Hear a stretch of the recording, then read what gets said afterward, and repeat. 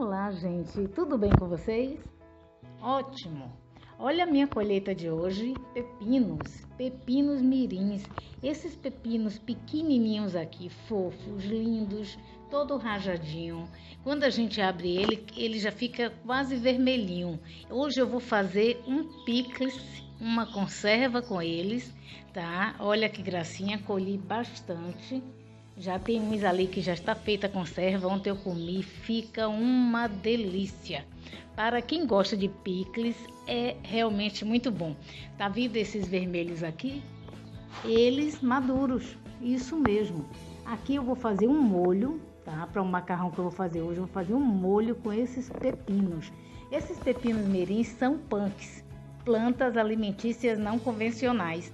As pessoas ainda não estão acostumadas com esse tipo de comida, mas já tem alguns estados que vendem esses pepinos nas feiras. Então, esse pepininho aqui gostoso é muito saudável, muito nutritivo e ele pega muito fácil. Ele nasce o pé por galhos, por ramas e rapidinho, gente. Ele produz muito rápido, é muito bom. Eu vou agora lavá-los e fazer o picles e mostrar a vocês. É realmente uma delícia. Aqui está, gente, os pepinos cortadinhos eu quero que vocês vejam.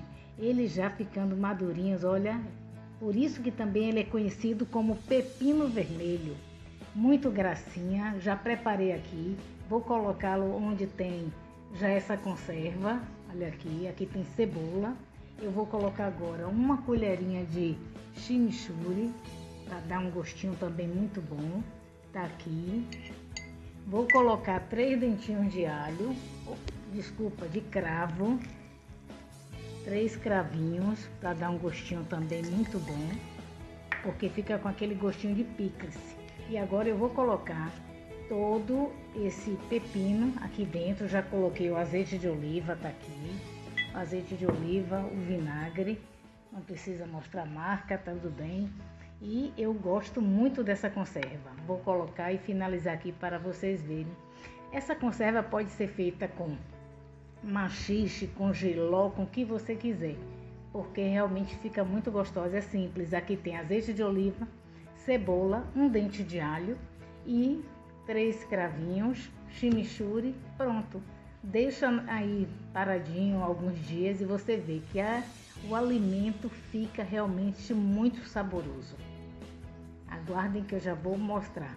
Estou gravando com a mãozinha só, então vou colocar tudo aqui e mostrar vocês como. Aqui está terminado a minha conserva de pepino mirim, pepino vermelho, pepino do mato Punk, na realidade essa plantinha, esse pepino tem vários nomes, depende muito da região.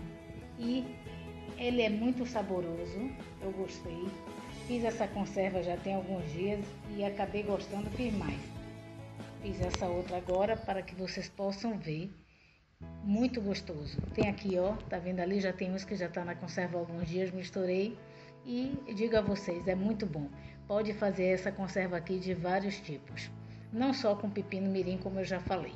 Espero que tenham gostado, curtam o vídeo, se não é inscrito ainda se inscreve, compartilha também.